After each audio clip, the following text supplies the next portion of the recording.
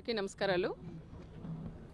బస్నేపల్లి పంచాయత్ బస్నేపల్లిలో దాదాపు తొంభై ఆరులోనే పరిటాల రవి గారు ఉన్నప్పుడే పట్టాలు కూడా ఇచ్చినారు. ఊరుకు దూరమని ఆ గ్రామస్తులు కూడా అక్కడికి వచ్చి కట్టుకోలేదు ఆ రోజు. తర్వాత మళ్ళా రెండు వేల పదహారులో మళ్ళీ ప్రభుత్వం వచ్చిన తర్వాత అక్కడ పట్టాలు కూడా మళ్ళీ అవే పట్టాలు ఎవరికైతే ఇచ్చినారో ఆ పట్టాలు కూడా ఇచ్చినాం. ఇచ్చిన తర్వాత అందరూ కూడా ఇల్లు కట్టాం. ఇండ్లు దాదాపు ముప్పై ఇండ్లు పూర్తి అయిపోయినాయి. ఇంకా కొన్ని బునాదులు కూడా పూర్తి అయిపోయినాయి. సీసీ రోడ్లు వేసినాం. కరెంటు సప్లై కరెంటు కానీ పోలన్నీ బాతి కరెంటు కూడా వాళ్ళు మీటర్లు కూడా బిగించుకున్నారు. నీటి సమస్య కూడా లేకుండా పైప్ లైన్లు కూడా చేసాం. అన్నీ అయిపోయినాయి. ఇండ్లే చేరే ముందు గవర్నమెంట్ పోవడం మళ్ళీ ఈ రకంగా ఇబ్బందులు పెట్టడం చాలా బాధాకరం. అంటున్నారంటే పరిటాల రవి గారు ఉన్నప్పుడు ఇచ్చినారు మమ్మల్ని బెదిరించినారు. మరి బెదిరించారంటే మీరు పదహైదేళ్ళు ఏం గాజులు తొడుకున్నారా మీరు? మరి ఆ రోజు ఏ రోజన్నా మీరు పేపర్ ఒక స్టేట్మెంట్ ఇచ్చారా? లేదంటే ఒక కంప్లైంట్ పోలీసులకు ఇచ్చారా? మరి ఏది ఇవ్వకోకుండా ఈ రోజు వచ్చి మీరు దౌర్జన్యంగా అక్కడ ఎంతోమంది పేదవాళ్ళు మీరే కూడా చూడండి. కనీసం పనికి పోయి వాళ్ళకి కూలిపోతేనే వాళ్ళ కడుపులకి ఇది. ఈరోజు ఇంతకుముందు చెప్పినట్లు వాళ్ళు ఇంట్రెస్ట్ తీసుకొని వచ్చి ఇంకా కొంచెం డబ్బులు వేసుకొని కూడా ఇండ్లు కూడా పూర్తి చేసుకున్నారు. మన ఆ ఇళ్ళలో దౌర్జన్యంగా మీరు అవి జేసీబీలు పెట్టి పడగొట్టడం ఎంతవరకు అది న్యాయం అని కూడా మేము కూడా అడుగుతున్నాం. జేసీ గారి దృష్టికి కూడా తీసుకెళ్ళాం. ఇంతకుముందు సీఐ గారు అయితే వన్ సైడ్ చేస్తున్నారు. అక్కడ సీఐ కానీ ఎస్ఐ కూడా వన్ సైడ్ చేయడం వీళ్ళందరినీ పిలిపించడం బెదిరించడం మగవాళ్ళందరినీ కూడా మీరు ఏ విధంగా మీరు సంత ఖాళీ పేపర్లో పెట్టి సంతకాలు చేయమంట. రెవెన్యూ సమస్య మీకు డిపార్ట్మెంట్కి ఏం సంబంధం అండి? కనీసం డిపార్ట్మెంట్ అక్కడ గొడవలు పడితే మీరు కాపాడే బాధ్యత మీరు అక్కడ భద్రత మీరు అవి ఇవ్వండి అంతేగాని అక్కడ పోయి మీరు దౌర్జన్యం చేసి మా వాళ్ళందరినీ ఇబ్బంది పెట్టి ఖాళీ పేపర్ మీద సంతకాలు పెట్టండి. వైఎస్ఆర్ఎల్ చెప్పిన రెడ్డి చెప్పినట్లు మీరు వినండి. ఇంటేనే లేకపోతే మీకు రౌడీ షీటర్ ఓపెన్ చేస్తాం మీకు బైండ్ ఓవర్ చేస్తామని వాళ్ళని బెదిరిస్తున్నారు. వాళ్ళు ఎవరు కూడా భయపడుకోకుండా ఖాళీ పేపర్ల మీద సంతకాలు మేము పెట్టాము అని అందరూ కూడా ఒకే మాట మీద ఉండి వాళ్ళు బయటకు వచ్చినారు. మన డిపార్ట్మెంట్లో సీఐకి ఎందుకు ఎందుకంత పర్సనల్గా తీసుకున్నారు మీ నాయకులు ఎవరు నీకు చెప్పారు? మరి ఎమ్మెల్యే సోదరులు చెప్పారా? లేకుంటే అక్కడ భూమి ఉండే ల్యాండ్ ఎవరైతే ఉందో ఇంకొకైనా అశ్వథరెడ్డి నీకు చెప్పారని కూడా దాంట్లో ఏమైనా భాగం మిగిలిన ఇస్తానన్నారు మరి సీఏ గారికి. లేకుంటే అంత పర్సనల్ ఇంట్రెస్ట్ ఎందుకు తీసుకుంటారండి? మరి చాలా ఉన్నాయి ఈ విధంగా కూడా జరుగుతున్నాయి. మరి ఎక్కడ కూడా ఎంత ఇంట్రెస్ట్ తీసుకోలేదు. ఆ భూమి మీద ఎందుకు తీసుకున్నావు? మీరు ఎట్లా రియల్ ఎస్టేట్ వాళ్ళతో కలిసి మీరు చేస్తున్నారు?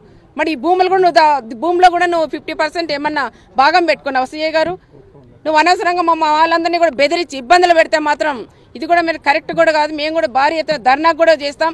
మీరు కూడా ఎస్పీ గారు కూడా దృష్టిలో పెట్టుకోవాలా? ఎస్పీ గారు ఎందుకంటే ఇవన్నీ కూడా మీరు చూడాలా? మొన్ననే మీలాంటి వాళ్ళు ఎస్ఏలు కానీ సీఏలు కూడా చేసేదాని పద్ధతిని బట్టే ఎస్పీ గారిని కోర్టు కూడా పిలిపించారు.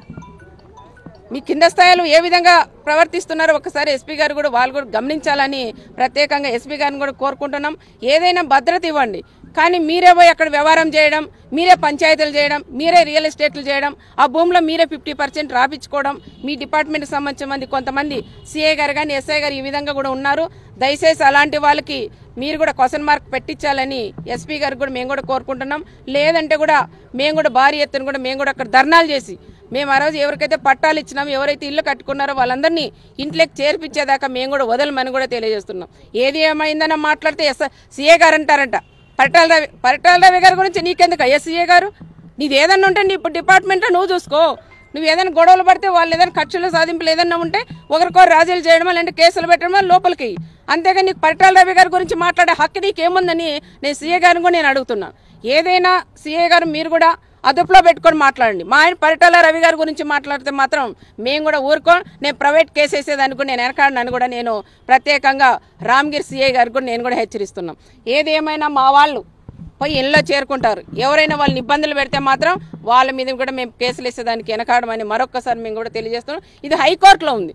హైకోర్టు నుండి వచ్చిన తర్వాత వాళ్ళకు భూమి వస్తే వాళ్ళకి ఇవ్వండి. లేదంటే మా వాళ్ళకి ఇస్తే ఇటు సైడ్ వస్తే వీళ్ళకి ఇస్తారు. కానీ హైకోర్టులో ఉండేది కూడా ధిక్కరించి మీరు పోలీసుల భద్రత అక్కడ పెట్టి జేసీపీలు పెట్టి మీరు పోలీస్ సిఐ గారు ఎస్ఐ గారు అక్కడ పని చేయించడం కూడా అది చాలా దారుణమని మరొకసారి కూడా నేను తెలియజేసుకుంటాం జిల్లా లీడర్లందరం కూడా జిల్లా ప్రెస్ అందరినీ కూడా తీసుకెళ్ళి అక్కడ కూడా మేము పోయి వాళ్ళని కూడా ఇంట్లో చేర్చే బాధ్యత కూడా మేము అందరం కూడా తీసుకుంటామని మరొకసారి తెలియజేస్తున్నాం. మీరు కూడా భయపడొద్దండి.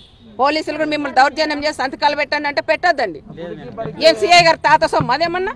వాళ్ళ తాత సొత్తది దానికని అక్కడ కూడా ఆపతి రవి గారు ఉన్నప్పుడు కానీ మళ్ళీ నేను వచ్చినాక కూడా అక్కడ ఒక టెంపుల్ కట్టించుకునేదానికి ఒక గుడికి ఒక అంగన్వాడికి దీనిలన్నిటికీ కూడా స్థలం ఇచ్చాం. అది కూడా లాక్కుంటున్నారు. ఎంత అన్యాయం అంటే అసలు ఒక్కసారి మరి డిపార్ట్ జిల్లా కలెక్టర్ ఏం చేస్తున్నారు? జిల్లా అధికారులందరూ ఏం చేస్తున్నారా? జేసీ గారు కానీ కలెక్టర్ గారు కానీ మీరు నిద్రపోతున్నారా? ఇలాంటి దుర్మార్గం పనులు చేస్తుంటే ఎస్పీ గారు కానీ అందరూ కూడా నిద్రపోతున్నారేమో. ఇంత దుర్మార్గంగా ఎక్కడ కూడా ఏ ప్రభుత్వంలో కూడా చేయలేదండి.